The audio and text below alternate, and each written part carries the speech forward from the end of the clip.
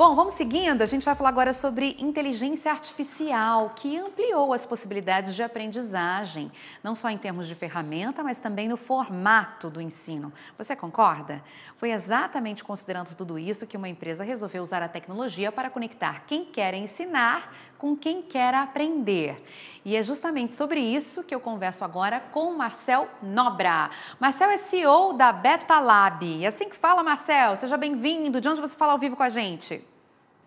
Oi, Milena, boa tarde. Eu falo diretamente de São Paulo. Sim, eu sou fundador da Beta Lab, Beta Lab. É, que é um ecossistema de aprendizagem corporativa.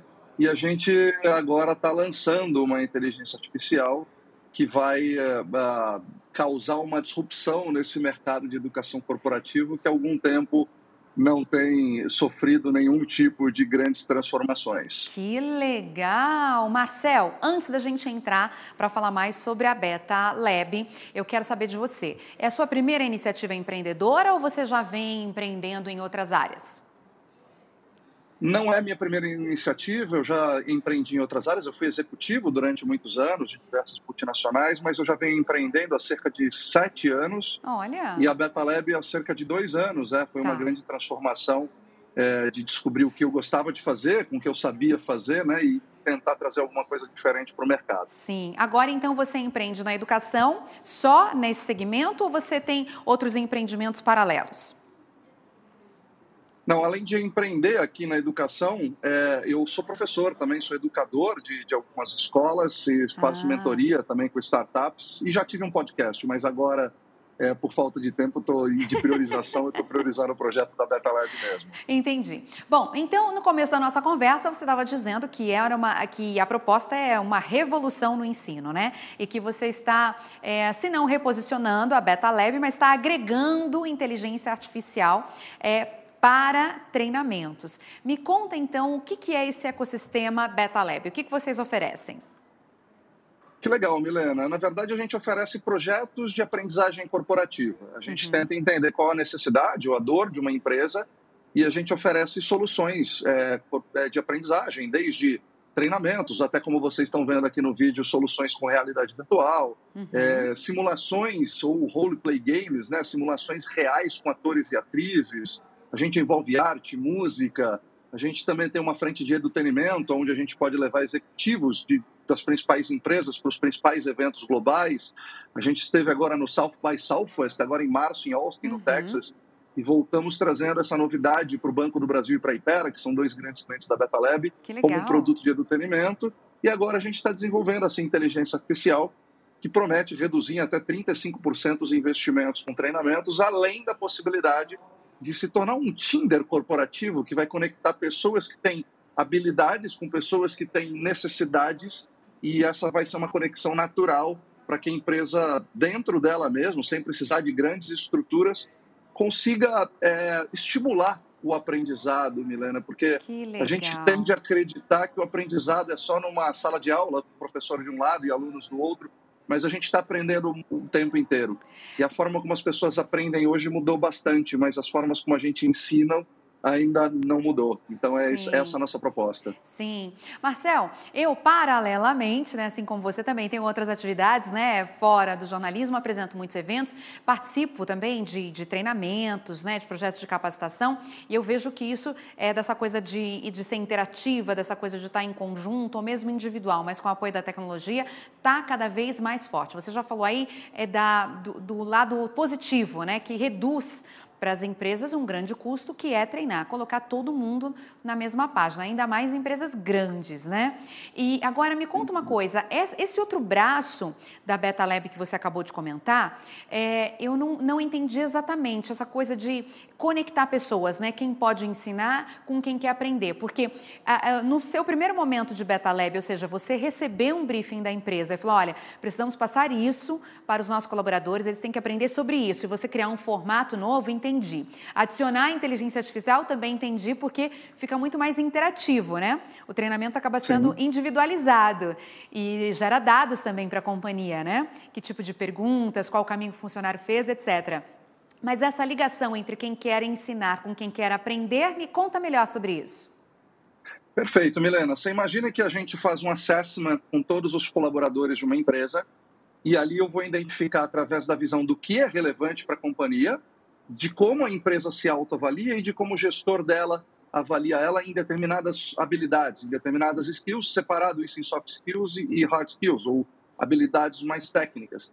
A partir desse momento, a inteligência artificial começa a criar um score por habilidade para entender o que, que a Milena, o que, que o Marcel, o que, que o Roberto, o que a Fernanda precisam desenvolver em ordem de prioridade. Além disso, então, eu consigo ter um mapeamento de todas as habilidades que são mais desenvolvidas e que precisam ser mais desenvolvidas dentro de uma empresa.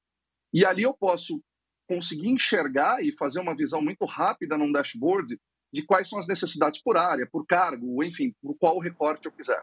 Ali dentro dessa plataforma, eu também respondo qual é a forma que eu prefiro aprender, porque nós gostamos de aprender ou temos mais facilidades de aprender de formas diferentes, todos nós. E também eu posso colocar ali dentro que eu gostaria de me dedicar uma hora, duas horas, três horas da minha semana uhum. a fazer mentorias.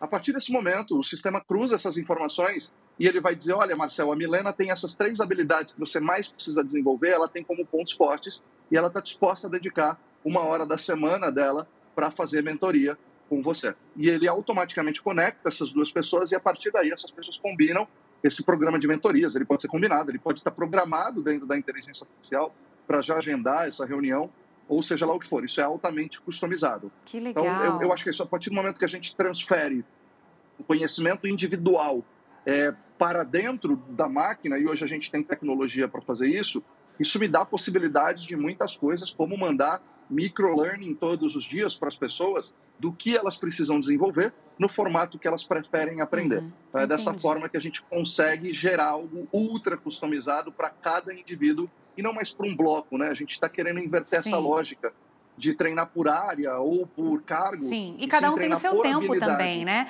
Tempo de aprendizagem, Exatamente. além do formato e da disponibilidade, tem o jeitinho que a pessoa gosta, né? Tem gente que fica 15 minutos já basta, tem gente que se não fica uma hora e meia já não dá.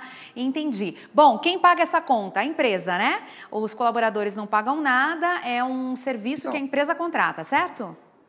É um serviço que a empresa contrata, ela paga por usuário e ela consegue ter acesso, na verdade, ela tem acesso ao sistema inteiro, tá. que é essa inteligência artificial, onde ela pode simular treinamentos. Então, ela quer treinar uma determinada habilidade, ela vai criar esse programa, né? ela vai dizer o que, que ela precisa treinar, e uh, o, o, sistema vai dizer qual é o programa mais otimizado que pode se criar de treinamentos para esse grupo de pessoas, e quantas pessoas e quais seriam as pessoas que participariam dentro de cada aula. Certo. Além disso, ela tem acesso a esse microlearning é, é, que vai ser enviado uh, organicamente para as pessoas e ela tem acesso a simplesmente ativar esse programa de mentoria, né, que é uma tá. dificuldade. As empresas têm uma dificuldade não só em mapear, mas em fazer Sim. esse match.